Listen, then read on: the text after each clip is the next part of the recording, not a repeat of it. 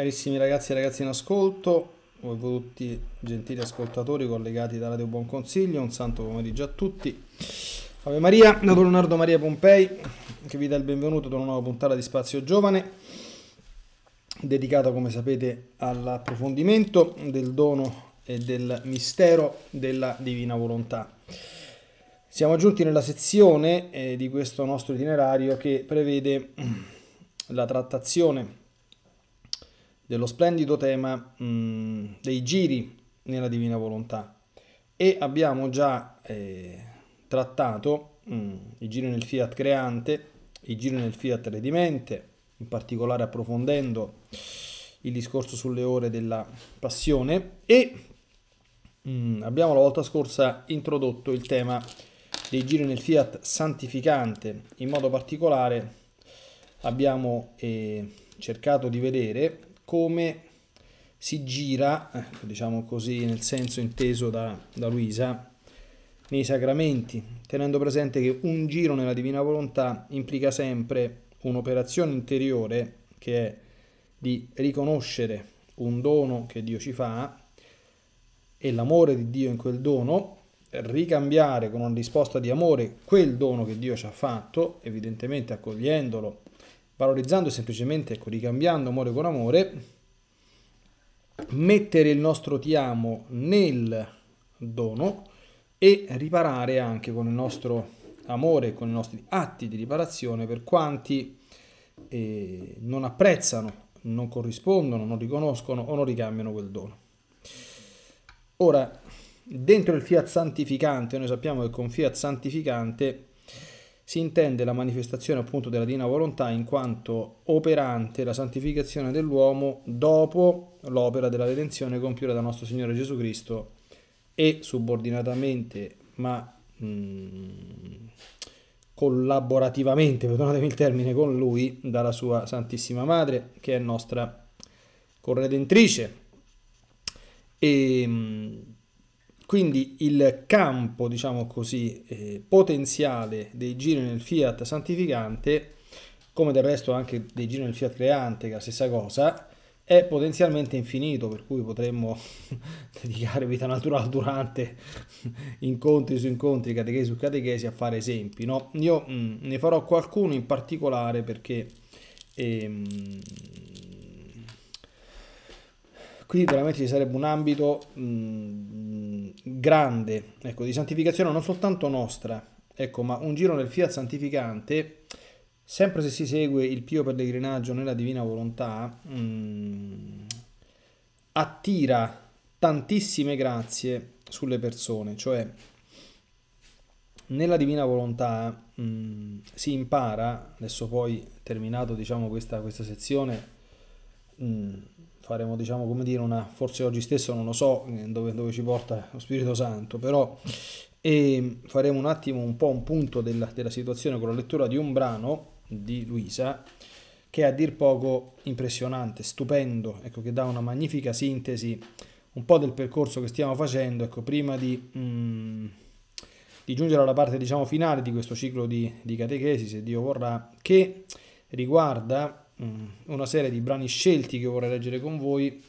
che fanno comprendere le meraviglie del regno della divina volontà, alcuni effetti impressionanti del vivere nella divina volontà, sia per quanto riguarda mm, la persona che vive questo dono, sia per quanto riguarda l'ambiente che lo circonda. Sono delle cose molto belle, molto grandi, insomma, se il Signore ci aiuterà a poter fare questo, questo, questo viaggio ricognitivo.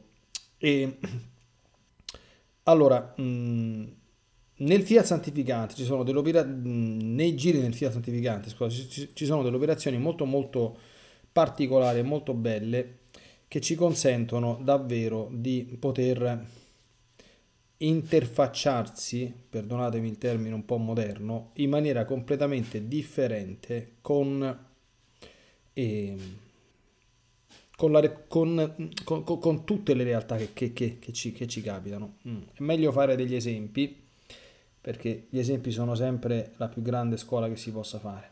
Allora, supponiamo che, come spesso ci capita, io veda fare qualcosa che non va da una persona, no?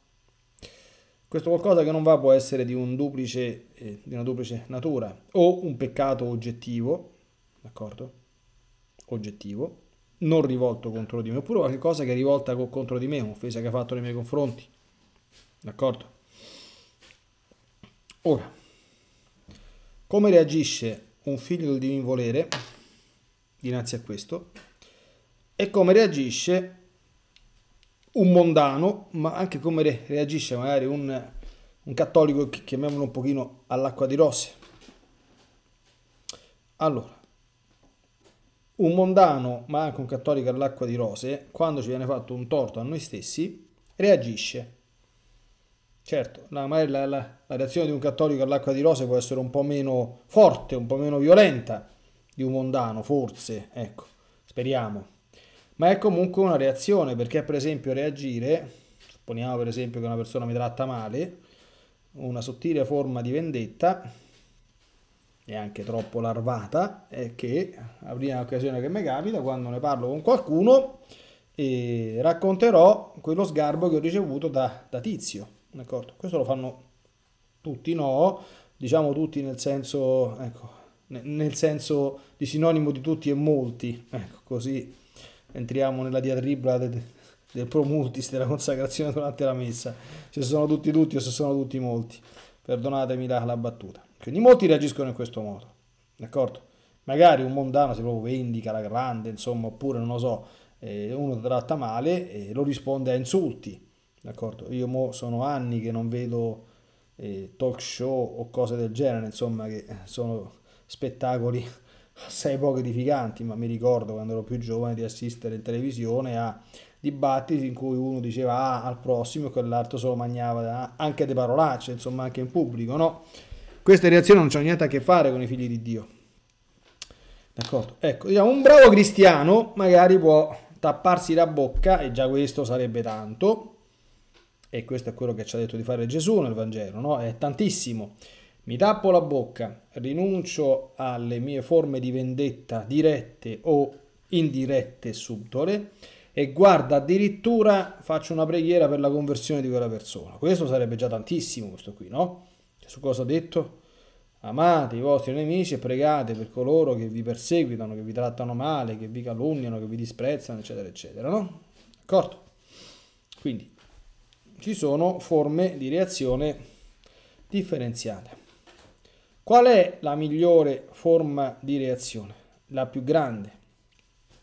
Ecco, la più grande, se uno legge con attenzione il pellegrinaggio nella Divina Volontà, è fare questo, cioè chi mi ha trattato male è un'anima, d'accordo? È un'anima.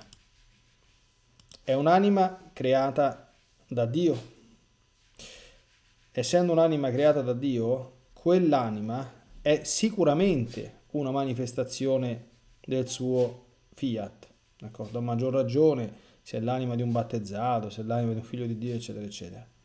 Allora, più ancora che sopportare pazientemente quello sgarbo e rinunciare a vendicarmi in maniera diretta o indiretta e fare una semplice preghiera, io posso fare un'altra cosa.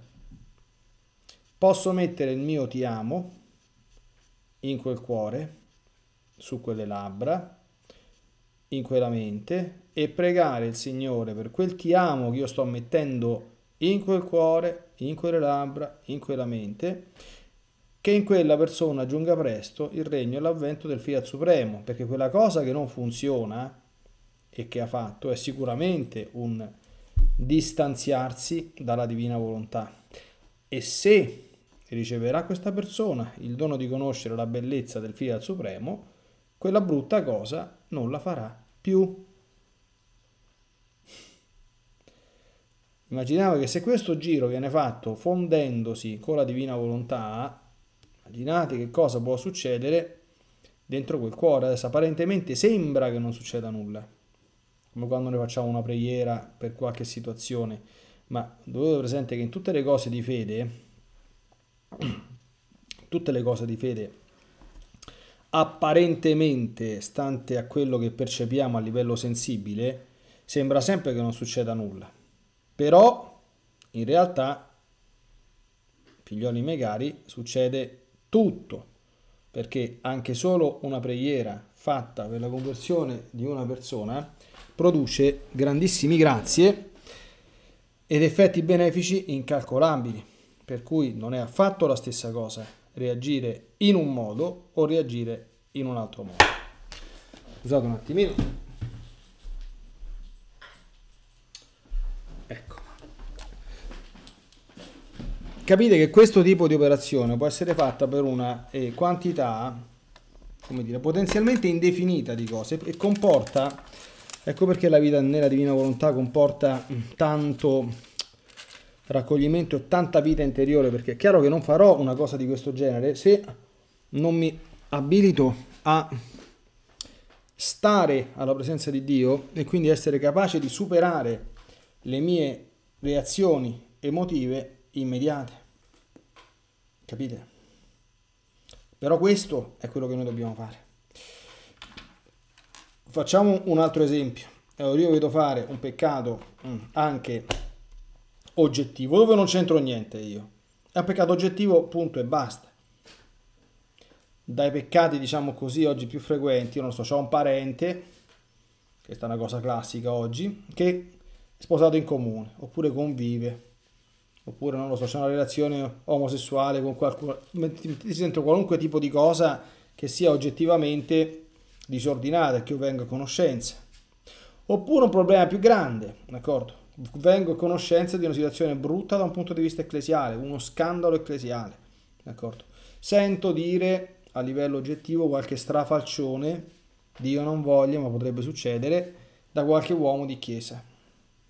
Anche qui cominciamo a, a scandagliare la mappa delle possibili reazioni. E qui dobbiamo essere sempre molto molto attenti appunto. Come reagisce un figlio della divina volontà, cioè cosa c'è più che altro dietro la reazione di un figlio della divina volontà. Questo è un passaggio non fondamentale a mio avviso.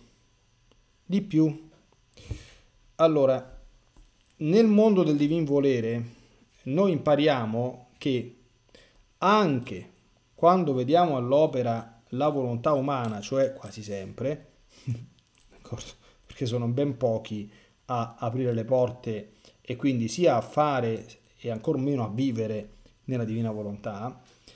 Noi sappiamo anche però che la divina volontà è sempre in atto, è sempre all'opera, perché quell'atto di volontà umana o anche quel peccato non potrebbe esistere senza, come dire, il permesso certamente non il consenso, della divina volontà.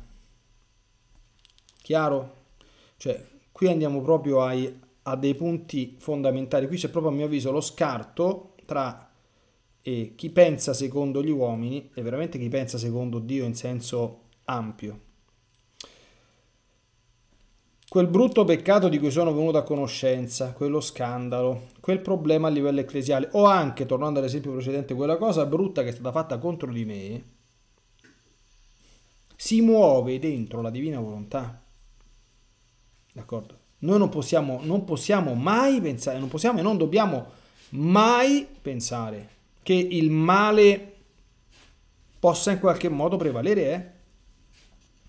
Il problema del male rimane un problema, rimane un mistero, ma quello che noi sappiamo con certezza è che nulla sfugge al potere della divina volontà. Cioè, se Dio si mette in testa che un certo male non deve, essersi, non deve compiersi per nessun motivo, possiamo stare tranquilli che quel male non si colpirà, eh? non si compirà. Oppure se Dio si mette in testa che un progetto che lui ha deve realizzarsi in maniera tassativa, senza violare nessuna libera volontà, perché Dio non lo fa, ma lo sa lui come, come, come quello che si inventa, ma stiamo tranquilli che quella cosa si farà, eh? Guai a noi se non avessimo una fede di questo genere, perché il male, se no è facilissimo cadere nel, nel, nell'eresia che potrebbe essere definita un manicheismo pratico. Voi sapete che i manichei, di cui faceva parte anche Sant'Agostino prima della confessione, dividevano il mondo in due principi. Adesso c'è sta ancora questa roba qui, non so se avete mai visto quel simbolo che credo che sia anche dello, dello zoroastrismo, con quella specie di, di sfera, dove ci sono quelle due figure, una bianca e una nera. Ora sarebbero il bene e il male, che si dividono praticamente in due parti la superficie di questo, di questo, di questo cerchio. No? Il, il, il bianco è il bene, il nero è il male. Ma quell'immagine è eretica, perché pone il bene e il male come due principi opposti che stanno però sullo stesso piano, che si combattono su un piano di parità. Attenzione che per noi non è così, eh. Cioè, Dio è il bene, ma Dio è Dio. Il male che trova in Satana il suo capobande, il suo artefice, non sta allo stesso livello di Dio, eh. Non ci sta. Dio sta, eh, Satana sta infinitamente al di sotto dell'Altissimo. È un cane legato, per cui anche se fa il pazzo, fa il pazzo nella misura in cui la divina volontà glielo permette e la stupidità umana gli dà forza. Questo è, diciamo, l'ambito di portata dell'azione del demonio. Purtroppo nei tempi sciagurati che stiamo vivendo la portata è abbastanza ampia perché per alcuni misteriosi suoi disegni il Signore gli ha dato una un certo margine che sembra più ampio di azione e gli uomini gli hanno proprio spalancato con la loro perversione sotto tutti i punti di vista un'autostrada. Però tutto questo non è senza, cioè non è che Dio sta guardando o non ci può fare niente, non è così, eh. Se la Madonna ha detto a Fatima, perdonatemi l'esempio molto contingente, il mio cuore immacolato trionferà, il suo cuore immacolato trionferà, punto e basta. E verrà nella Chiesa un'era di prosperità e di pace. Ma questo accadrà, punto e basta? Allora questo ci consente, come dire, un rapporto anche con il negativo, con il male, differente da quello del mondo. Ecco perché cioè, chi vive nel regno del divino volere certamente in tante circostanze sta in croce, certamente soffre, mm, soffre con le persone quando soffrono, soffre con la Chiesa se ci sono momenti difficili, soffre anche con il mondo che geme sotto il potere del maligno e che sembra andare verso la propria rovina. Non è una persona atarattica e estranea dal mondo che vive nel suo mondo. Però attenzione, soffre serenamente e soffre santamente. Soffre serenamente, soffre santamente, cioè anche quando noi contempliamo, e, e ho raccomandato e io cre- spero che a molti lo Spirito Santo faccia questo dono di eh, pregare quotidianamente le ore della, della passione, qual è l'insegnamento di questa cosa? È che tutto quell'orrore che si vede nelle ore della passione è, chiaro che sono una montagna di, di, di peccati commessi contro Gesù no? e istigati dal demonio. È chiaro che sarebbe una bestemmia dire che Dio, come dire, intenzionalmente voglia una cosa di questo genere, no? Come quelli che dicono che bisogna fare un monumento a Giuda perché è stato Dio che gli ha detto tradisci eh, mio figlio se no non poteva andare in croce. Questa è una bestemmia orribile questa qui, d'accordo? Non è questo il, il senso esatto in cui comprenderlo. Quindi c'è stato un permettere, uno scatenarsi di ogni eh, forma di, di, di male più, più terrificante e più violenta possibile nel senso che veramente Gesù è stato consegnato, cioè al diavolo gli è stato detto adesso fare quello che ti pare. E se il diavolo dice così, insomma, il diavolo non è che, che se la fa insegnare quanto è cattivo. Però questo, questo perché stava, stava succedendo? Perché attraverso quelle cose si stava compiendo la redenzione dell'umanità. Capite? Si vede benissimo questa cosa. Eh? Non voglio fare pubblicità né fare i trailer cinematografici Spero che chi l'ha visto l'abbia, l'abbia colto. Nella passione di Mel Gibson, nella passione di Mel Gibson, dove si vede sempre questa oscura regia del demonio, neanche troppo oscura, che controlla tutti quanti i momenti della passione, che assiste mentre Gesù è flagellato, che l'accompagna durante la via Crucis, che lo tenta nel Getsemani. Poi a un certo punto che succede? Appena Gesù muore, si vede quella lacrima di Dio che cade sulla terra al terremoto e sotto Satana all'inferno che strilla e sbraita perché in quel momento ha capito che quella che lui pensava essere la sua vittoria era la sua fine. Capite? Quindi Dio non perde mai, Dio vince, Dio non perde e i figli della divina volontà non perdono mai, eh, vincono sempre. Non esiste sconfitta, non c'è. Allora, ecco perché il fondamento, come dire, della, della calma, della pace, della tranquillità, anche in situazioni borderline, anche come dice il Salmo, noi non temiamo se trema la terra, se crollano i monti nel fondo del mare, non temiamo se vengono i terremoti, se vengono le carestie, se viene lo tsunami, se viene quello che vi pare, se viene la terza guerra mondiale. Non, non, non è che uno è fuori di testa, è psicopatico o è fanatico, d'accordo? Certo, è chiaro che dinanzi a cose di questo genere, quando non le vive, non è che rimane con le braccia conserte e, e cantarellando le canzoncine, insomma, sciocche, insomma, le, le vilastrocche, no? Non è questo. Però, pur dentro una situazione dolorosa, si rimane stabili, si rimane nella pace, perché quella situazione dolorosa avviene con divina permissione, scorre dentro il divin volere. Punto. E non gli sfugge. Capito? Un figlio, di, un un figlio del, del, del non si mette a chiedere al Signore, ma perché Signore tu hai permesso questo e non lo hai impedito? Allora fai la mia volontà, ascolta la mia preghiera, cambia questa situazione, toglimi questa croce, per carità. Questa è la preghiera dei pagani questa qui. Dinanzi a una cosa di questo genere si prega, Signore, bene, è successo questo, tu l'hai permesso, fammi comprendere se c'è un messaggio da capire dietro questa croce e dietro questa tribolazione. E in ogni caso ecco il giro. Che succede? Che faccio? Benissimo, io adoro questo tuo disegno.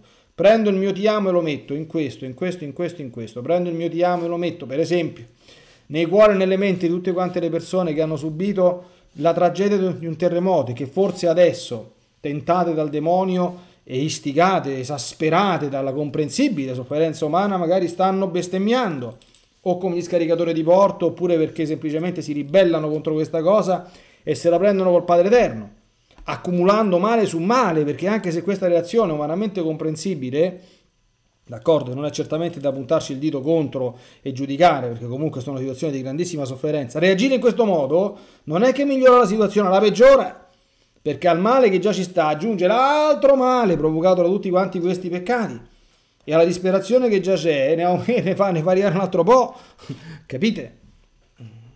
E eventuali, come dire, prendersene con il Padre Eterno aumenta ancora la situazione di sofferenza, non la fa diminuire. Capite? Allora vedo una situazione disastrosa, sento una predica fatta male da parte di un ministro di Dio Tante volte i fedeli si lamentano di questo, questo e quell'altro. Dico, benissimo, allora Signore mio, quello è un tuo ministro. Quello è un tuo ministro, quello è un'anima che da te è stata tanto beneficata, c'è il dono dell'ordine sacro, è il principe dell'universo, forse non si rende neanche lui conto del dono che ha ricevuto. Bene, mio Signore, io metto il mio ti amo in quel cuore, d'accordo? Chiedendoti, venga su di lui il regno del divino volere, fagli conoscere la bellezza della tua volontà, fallo innamorare di più di te, Metto il mio ti amo sulla bocca di quel ministro perché la sua parola, la sua bocca e la sua predica possa essere sempre animata dalla tua volontà, dal fiat, dallo Spirito Santo, eccetera, eccetera, eccetera, eccetera ed eccetera. Capite? In questo modo, capite, eh, Luisa, se uno legge gli scritti, passava le sue giornate a girare, girare, girare, girare, girare, girare, girare, capite? Basta anche per comprendere questa, questa, questa, questa forma particolare di giro, che è, ripeto, potenzialmente infinita perché abbraccia tutte le situazioni, ed è, io quando ci penso, la penso come a una sorta, come dire, di, di aspiragrazia, non so se, cioè, tu fai questa operazione perché nel divin volere, capite? Cioè, è questo che noi dobbiamo un attimo... Se io entro nella divina volontà, se io mi fondo con la divina volontà, io realmente mi trovo attualmente in atto dappertutto. Quindi io realmente posso entrare dentro un cuore, dentro una mente, e certamente senza che questo comporti una spersonalizzazione della persona e del diretto interessato, ma siccome la divina volontà c'è in quel cuore, come sta dappertutto, capite? Io ci entro e ci prego dentro quel cuore, capite? Ecco il senso del, de, del giro. Non prego semplicemente per quella persona, io vado a mettere il mio ti amo in quella persona, d'accordo? In quella persona. E mentre riconosco anche nel male, sia che subisco, sia che vedo una permissione della divina volontà, capite? Per cui non soltanto sto tranquillo, dico ti ringrazio Signore perché come da te accetto il bene, accetto anche il male, che sicuramente avrà un senso positivo per me e per tutti, non dando la vinta al demonio. Il demonio, al demonio non noi gliela diamo vinta, anche quando gli diamo troppa importanza, nel senso che sì, lui fa il pazzo, tutto quello che ti pare. È vero che un sacco di anime se le porta all'inferno, nessuno nega queste cose. Però noi sappiamo che comunque alla fine all'inferno ci va chi ci vuole andare. E non possiamo dare al demonio la soddisfazione di vederci agitati o preoccupati per tutto quello che lui sta facendo di male, perché lui ci gongola su questo. Allora noi dobbiamo dire al demonio, sfogate pure, ma tu ti sfoghi perché il padrone te lo sta permettendo. D'accordo? Io mi unirò al padrone e cercherò di non farti sfogare con me. E io cercherò di riparare tutti quanti i danni che fanno le persone, girando nel divin volere e riparando in continuazione. E comincio a mettere il mio ti amo a Gesù dappertutto. Tu continui a seminare, e tu continui a seminare male. E io semino il bene nella divina volontà. Vediamo chi è più forte. Voi capite che se veramente ci fosse un esercito di persone che facessero questo, ma io vorrei veramente che qualcuno mi dove stanno, d'accordo? Eh, dove stanno? Io spero che anche so che cominciano a nascere i gruppi della Divina Volontà, cioè, eh, però vivere seriamente, solidamente nella Divina Volontà, ma veramente cambia il mondo, ci cambia il cuore, ma ci cambia il mondo, ci cambia, perché questa roba qui al mondo la cambia, non c'è nessunissimo dubbio che il mondo la cambi. Allora, cioè, gli atteggiamenti polemici, distruttivi, no? Adesso questa catechesi va in contemporanea in diretta radio su Radio Buon Consiglio e va in diretta Facebook sul mio profilo Facebook. Allora, cioè, voi immaginate tutto quello che quotidianamente accade su Facebook. Io non voglio parlare mai di Facebook perché, per carità, cioè, se c'è una persona che è presente nel mondo del web, insomma, è il sottoscritto. Però bisogna vedere come uno sta presente capite? Cioè, io anche tante cose che vedo, che, che ascolto, blog, discussioni, articoli, anche da parte di persone, io capisco che in quello che scrivono sono, cioè, sono mosse da zelo, sono mosse dall'amore a Gesù, sono mosse dall'amore alla Chiesa, ma le forme e i, modo, e, e i modi di eh, interfacciarsi ma non sono graditi a Dio. Vanno a fare il demonio si sbudella dalle risate, capite? Cioè nel senso tu puoi averci anche la buona intenzione di agire per amore a Gesù, per amore alla Chiesa, per tutto quello che ti pare, ma se usi delle forme, dei modi distruttivi, la discussione su Facebook, la critica, il giudizio, il puntare il dito, il mormorare, il chiacchierare, lo sparare a zero, facendo nomi e cognomi anche di persone importanti.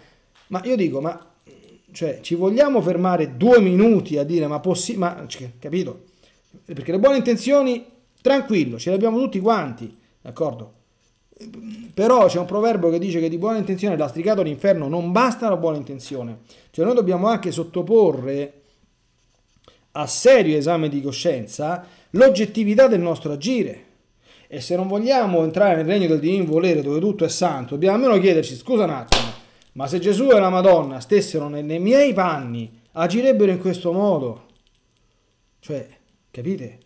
A volte si sente, cioè io si, si assiste in giro a persone che dicono ad agire nel nome della Madonna, facendo certe cose che io dico, ma Madonnina mia, io lo dico nella mia umiltà, insomma, nel segreto della mia preghiera, dico, Madonnina mia, cioè per carità, non è che io ho avuto le apparizioni della Madonna, quindi, ma io ho conosciuto un'altra Madonna, che, che, capito? Cioè, se io devo pensare che la Madonna possa volere una cosa di lei che è stata sempre così umile, lei che dinanzi ad un problema, dinanzi a una sofferenza, piange lacrime di sangue, piange la, e piange lacrime umane, e piange lacrime di sangue, e chiede sempre pregate e riparate, pregate e riparate, pregate e riparate. Non ho mai chiesto di fare le crociate o le, o le, terze guerre mondiali. Io non conosco apparizioni dove la Madonna chiede di fare queste cose. Non le conosco. Cioè, non è che le conosco tutte, ma ne conosco qualcuna, ho scritto pure un libretto, insomma, no? Ma dico, anche senza cioè, capite? È un mondo differente, è un mondo diverso, è un mondo e un modo diverso di relazionarsi. Capite? Cioè, nella divina volontà diventa tutto divino. Quindi il nostro modo di agire viene necessariamente elevato, divinizzato. Non possiamo noi agire come tutti gli altri uomini. D'accordo? Io dico, le, le povere tribolazioni del de parroco del poro paese sperduto sui monti repini dell'agro pontino. Qui, qui come, tutti, tutti, come tutti quanti bellissimi paesi, io sto in un posto stupendo, sono graziato dal Signore, eccetera, eccetera, no? Però questo è un, è un paesello, d'accordo? Un paesello dove a volte stanno delle cose piccine, cioè le persone che si attaccano, si criticano, si cosano. Allora è chiaro che qui dentro, nella nostra realtà, dico, io quando mi muovo in parrocchia dico ragazzi, noi ci vogliamo bene, certamente come compaesani, come cittadini va benissimo, ma ci vogliamo bene anche come cristiani, capito? Allora, il nostro stile di noi, che, quei pochi che frequentiamo un pochino la parrocchia, anche il nostro stile, come dire, eh, relazionale ad ampio raggio nei confronti della comunità, chiamiamola civile, non può essere uguale a quello di tutti gli altri. Se no che ci stiamo a fare qua? Capite? Non è possibile. Deve essere caratterizzato da delle forme e da degli stili e da dei toni differenti. Differenti differenti. Ecco, nel regno del divino volere tutto questo diventa atto, capite? Atto, atto. E anche qui mh, mm, la lettura degli scritti di Luisa, la contemplazione assidua soprattutto della passione di Gesù e del modo con cui Gesù si interfacciava Guardate che io, per esempio, mm, ho sempre pensato, non me ne vogliano gli amici di Luisa, che un'altra serie di buone letture che si possono fare per comprendere un po' lo stile, il mondo del Divin Volere, che io la prima volta che lessi queste cose non conoscevo il mondo del Divin Volere mi sembrava tutta una cosa strana. Non so chi li conosce, sono gli scritti della, sempre anche qui credo, serva di Dio, non so se già venerabile, Suor Cecilia Bai, che ha scritto la vita interna di Gesù Cristo e la vita di San Giuseppe, che sono dei capolavori di spiritualità. Si trovano, dico subito, non si trovano in giro queste cose qui, bisogna chiederle alle suore del monastero dove questa santa donna è vissuta, che si trovano a Monte Fiascone. Online è possibile trovare tutte queste cose qui. Se uno legge la vita interna di Gesù Cristo, è una lettura, come dire, mm, raccomandabilissima perché quella è scuola di divina volontà. Perché la vita interna di Gesù Cristo mostra come Gesù, nella sua vita privata e nella sua vita pubblica, interiormente reagiva alle situazioni, agli eventi, alle persone, eccetera, eccetera. Veramente lì, se uno legge, io rileggere qualcosa adesso con le cognizioni che ho avuto da Luisa sarebbe veramente uno spettacolo, adesso vado a memoria, rimane veramente affascinato. Questo continuo desiderio di dare gloria al Padre, di riparare i peccati che vedeva da parte degli altri uomini, esattamente quello che Luisa ci dice quando ci informa che in tutta la vita terrena Gesù non si è preoccupato soltanto di distruggere i peccati con le sofferenze, ma anche di rifare tutti gli atti degli uomini. Adesso mm, forse oggi lo leggerò soltanto questo scritto, la prossima volta lo, lo commentiamo. Rifare tutto, quindi rimettere tutto a posto. Noi non rimettiamo tutto a posto finendo di distruggere, capito? Il male, questo è un insegnamento universale del Vangelo, non si distrugge con l'altro male. Perché Gesù dice se qualcuno ti dà uno schiaffo, sulla, porgi anche l'altra guancia? Perché se dai un altro schiaffo, tu il male non lo distruggi, ma ne fai un altro. Se tu lo schiaffo te lo prendi, lo offri e, e rispondi con il perdono, quel male l'è neutralizzato e non ne hai generato altro. Questo Gesù ci ha insegnato a fare nel Vangelo. Ragazzi, Capite? Questo ci ha insegnato a fare Gesù nel Vangelo, non altro. Allora, gli atti fatti malamente da parte delle altre persone, questo è un punto focale, per esempio, della liberazione del, del divin volere, vanno riparati, cioè se quello ha fatto una cosa fatta male e non la ripara lui, Io quante volte dico alle persone, dico guarda figlio mio, perché la gente questo non, non gli entra in testa. Non gli entra in testa. Quante catechesi ci ho fatto? Sapete quanta gente sempre di Don Leonardo, Don Leonardo, Don Leonardo, che mi dà, che mi dà pure un po', po', Capite che Don Leonardo è un povero prete, quindi è semplicemente... Oh, però, quante volte durante le catechesi ho spiegato, dico, guarda, qual è il senso della penitenza cristiana? Qual è? Se tu hai fatto un peccato, una cosa che non va, non c'è solo l'offesa di Dio, che questa ti viene rimessa con il sacramento della confessione, ma ci sono anche i danni che tu hai procurato a te anzitutto e quando è un peccato che ha fatto male al prossimo, fuori di te. Queste cose, perché il sacramento della confessione finisce con la penitenza? Per ricordarti che certamente Dio ti ha perdonato, d'accordo? Ma tu ci devi mettere del tuo. Devi sistemarle le cose, devi riparare. Oh, ci sono alcuni peccati in cui questo è palese. Hai rubato? Devi restituire. Hai calunniato il prossimo? Devi restituirgli la buona fama. D'accordo? Ma hai fatto una cosa che fa male a te? Per esempio, hai insultato una persona? Tu gli devi andare a chiedere perdono, figlio mio. Eh. Devi ripararlo quel gesto che hai fatto. Perché quell'insultare la persona, una volta che tu l'hai fatto, ti ha reso un po' meno caritatevole ti ha degradato verso l'anticarità, d'accordo? Verso il giudizio, verso l'offesa del prossimo. Quindi questa degradazione va recuperata. E questo non te lo recupera il sacramento della confessione. Il sacramento della confessione, Dio ti perdona l'offesa che hai fatto a lui, ma questo lo devi fare tu. Sei tu che devi andare da Tizio e chiedergli perdono o sei tu che in base al peccato che hai fatto devi fare un atto di riparazione che ti consenta di neutralizzare le conseguenze negative del male che hai fatto tu. Questo dovrebbero farlo tutti, ma quale essere umano fa queste cose?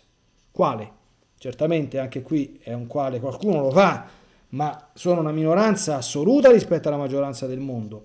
E tutta questa montagna di male che sta in giro, e o di bene non fatto, o di amore di Dio non accolto e non ricambiato, chi ci va qualcosa? Chi ci mette una pezza, dicono a Roma. Il mondo del divin volere sta tutto qui, sta. Sta tutto qui. Ripeto, Luisa Piccarreta per una vita non ha fatto altro che girare dalla mattina alla sera, fare giri nel fiat creante, nel fiat santificante e nel fiat redimente in continuazione non faceva altro. Che cosa pensiamo noi di una vita così? No, o meglio, altro lo faceva. Era un'anima vittima e quindi spesso e volentieri si prendeva crocifissioni, eh, corone di spine in testa, versamenti di cose amare nella bocca da parte di Gesù, già degli scritti, per eh, fermare la divina giustizia e ottenere misericordia al mondo, anche come vittima. Quindi non soltanto nel regno del divino volere, quindi come riparatrice e come adesso lo vedremo nello scritto stupendo che vi ho promesso di leggere, come colei che rifà con Gesù e con Maria tutto quello che gli uomini non hanno fatto e non fanno. E questa è la vocazione di chi vuole entrare nel regno del divino volere. Ma anche come colei che con Gesù se ne fa carico come vittima. Questo ha fatto più scrivere tutta quanta la roba che per grazia di Dio ha scritto, insomma è abbastanza. Eh. Però agli occhi del mondo la vita di questa donna è la vita di una povera donnetta che stava rinchiusa dentro una casa, che ogni tanto faceva qualche lavoretto al tombolo per guadagnarsi qualche sordo, che stava tutto il giorno fregata dentro il letto a fa, chi, che, a fa, a fa, a fa che? Secondo noi. Secondo noi. Allora ecco, come raccordo, quindi io spero di aver spiegato, cioè capite, qui ripeto, potremmo starci a fare quattro puntate di, di catechesi, circa gli esempi infiniti. Vedi qualcosa che non va in qualcuno? Gesù, metto il mio ti amo nel, ma nelle cose più brutte. Sai che una persona, sapete quanta gente, ecco, dice padre, ho visto, sai, quella persona sono sposati al comune, ho visto, sono andati a farsi la comunione, che ci posso fare? che ci puoi fare? Metti il tuo ti amo intanto dentro quel cuore e dentro quelle labbra, soffri con Gesù di Gesù, io metto il mio ti amo in queste cuore e in queste labbra, anzitutto perché tu, insieme a quella bocca sacrilega e a quel cuore sacrilega, trovi l'amore mio. che faccia da schermo a, a, al disgusto che avrai a entrare dentro un'anima del genere e al tempo stesso ti chiedo che il regno del Fiat Suprema regni in quest'anima, faglielo conoscere, falla convertire, falla percepire il, la, la peccaminosità di quello che sta facendo. Queste sono grandi operazioni da fare, le più grandi, le più importanti. Ok? Le più grandi e le più importanti. Allora, io volevo a questo punto, credo che lo leggerò, poi lo riprenderemo la prossima volta, eh, leggere uno dei passi, a mio avviso, più belli, più chiari, più importanti di tutti gli scritti di Luisa, che al punto in cui siamo arrivati ci fa molto bene comprendere qualcosa del divin volere. Io mm, vedo che abbiamo circa un quarto d'ora, provo a leggerlo perché è abbastanza lungo, lo leggerò con calma, così abbiamo anche tempo, chi segue queste, queste catechesi, di eh, ascoltarlo, di digerirlo ed eventualmente, eh, tanto gli iscritti sono facilmente rinvenibili online, eh, di andarlo a riprenderlo, rileggerlo, meditarlo e digerirlo, eventualmente riservandomi il commento alla prossima puntata, perché questo è un punto focale e fondamentale del nostro percorso, quindi che ci consente di fare a questo punto del nostro cammino, questa è la ventottesima puntata, un punto della situazione, riprendere molte cose su cui abbiamo già meditato e aprirci su quello che ancora ci resta da meditare.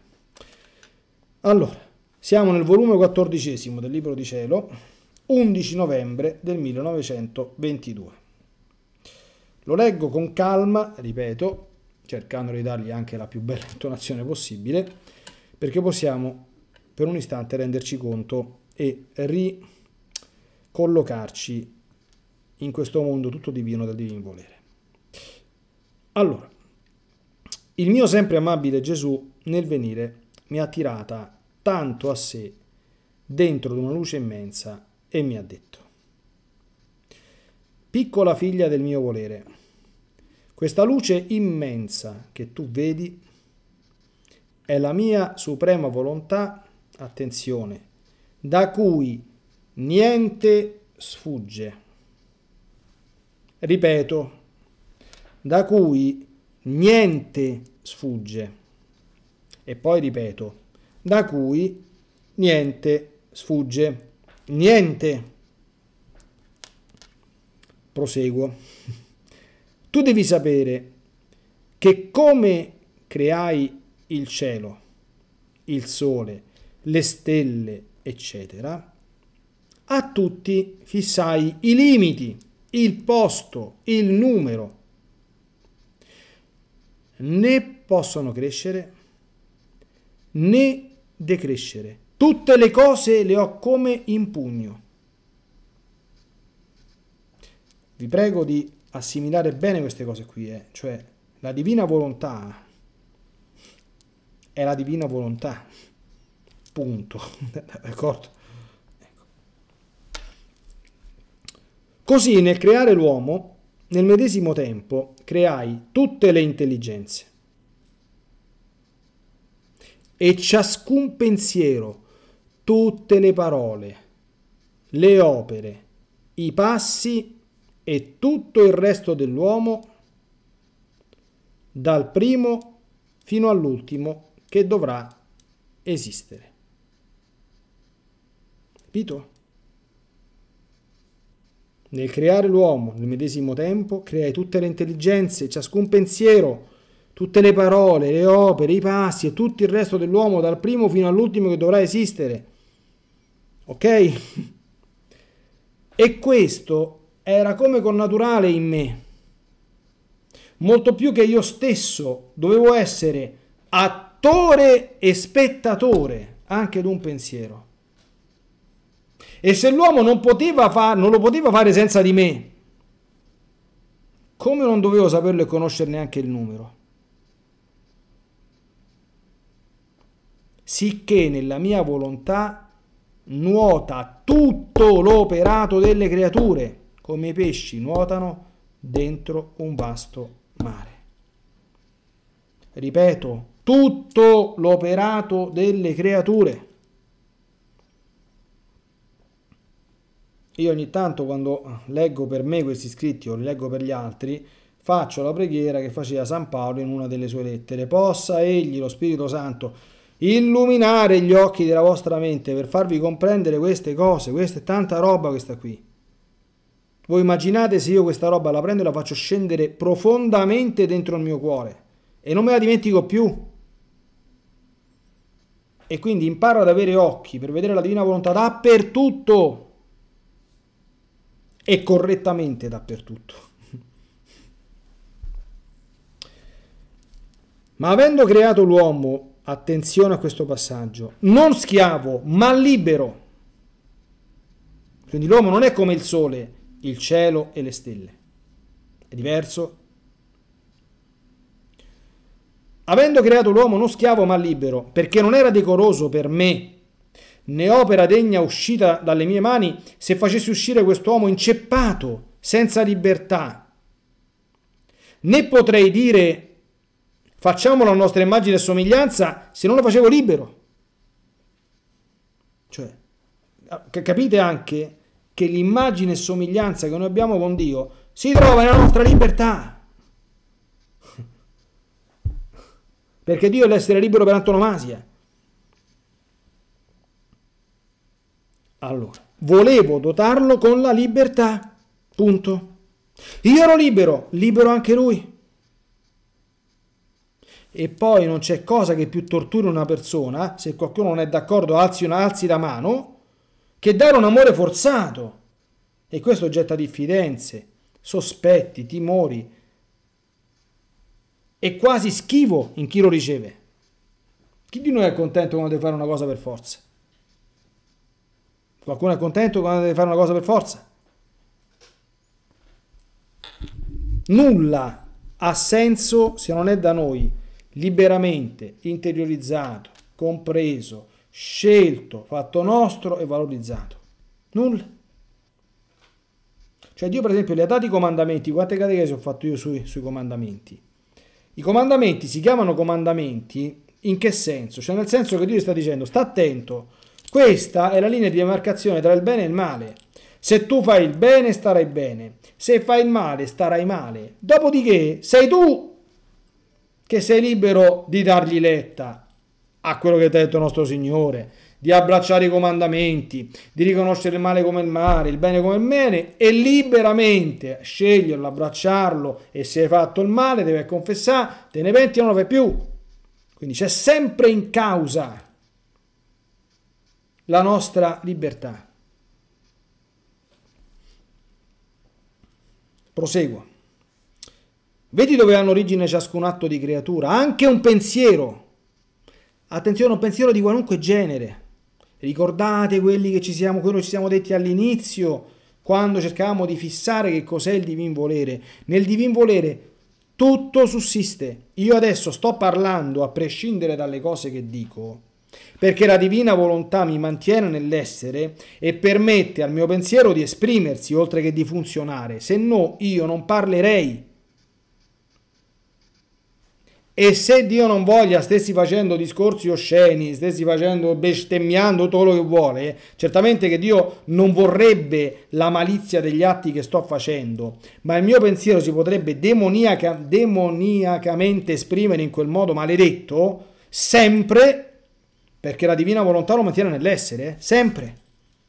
Altrimenti tornerei nel nulla da cui sono stato tratto. Capito? Ripeto, vedi dove hanno origine ciascun atto di creatura, anche un pensiero, nella santità della mia volontà. Con questa differenza però, che se l'uomo vuole, e questa è la differenza tra noi e Dio, quello stesso pensiero parola, eccetera, può farlo bene o male, santo o cattivo. Quella è la differenza tra la volontà umana e quella divina. Che la volontà divina fa solo bene, santo, perfetto, eccellente, eterno, infinito, immenso, qualunque cosa che faccia. Noi no. Noi possiamo fare male, cattivo, dannoso, nocivo, eh, brutto, imperfetto, eh, misero, eccetera.